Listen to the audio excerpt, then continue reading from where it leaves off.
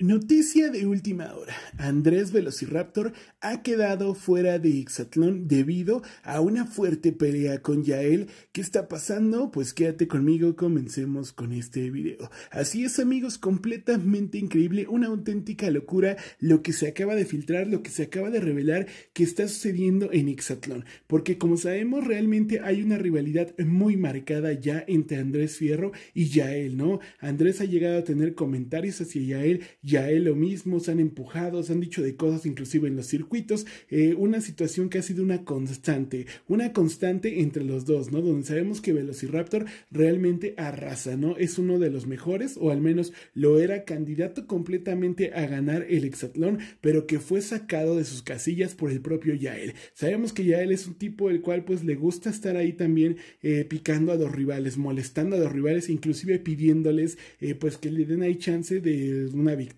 ¿no? La verdad, amigos, como lo hemos visto, esta rivalidad ha venido creciendo. El propio Yael, inclusive en algún momento, ha manifestado que Andrés Fierro no jugaba de manera leal cuando parece ser que tuvieron ese percance en el circuito donde Yael dice me empujó y demás, y Andrés Fierro pues sale a decir lo contrario, ¿no? Realmente yo iba corriendo, que querían que lo esperara, y después una especie de burlas que han tenido, piques en los circuitos donde se empujan, se manotean, y ahora, amigos, pues parece ser que el propio Velociraptor perdió la cabeza, ¿no? Que el propio Velociraptor cayó en provocaciones de Yael porque se ha filtrado que la siguiente semana vamos a ver en televisión, esto es en tiempo real, es decir, para la semana que empieza el año entrante, ¿no? Hay una discusión, hay una fuerte pelea nuevamente en los circuitos donde se dice que Andrés vuelve a empujar a Yael en nuestros circuitos y el clavadista ya no se aguanta. Comienzan a intercambiar ahí palabras y en un momento empiezan a volar manotazos, llegan a los golpes, ¿no? ¿Qué es esto? Nuevamente el pato contra Keno 2.0 y en ese momento pues Andrés termina por dejar bastante mal herido al propio Yael, ¿no? Termina una discusión, una pelea que se sale de control y de inmediato producción para todo.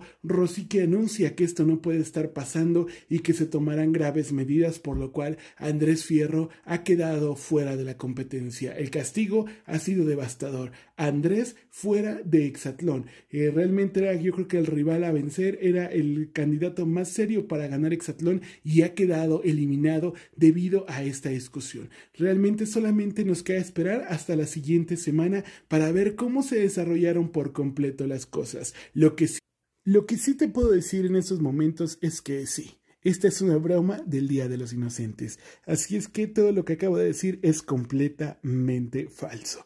Una mentira, una broma, como lo quieran ver, referente a este día. Ya lo hemos hecho en años anteriores y este no iba a ser para nada la excepción. Así que relájense amigos, realmente espero que no se me hayan enojado, que no se me hayan disgustado. Una disculpa de antemano. Sabemos que esto simplemente es un día para hacer bromas, ¿no? Al menos en México y en muchas otras partes. Así es esta fecha 28 de diciembre, Día de los Santos Inocentes. Así es que, pues bueno, una disculpa, no se me vayan a enojar, simplemente una broma.